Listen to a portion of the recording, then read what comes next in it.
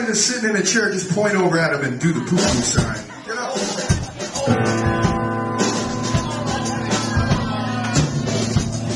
You don't have to come up here, but you got to get out of your chair. Here we go. Here we go. This is called Crawling King Snake.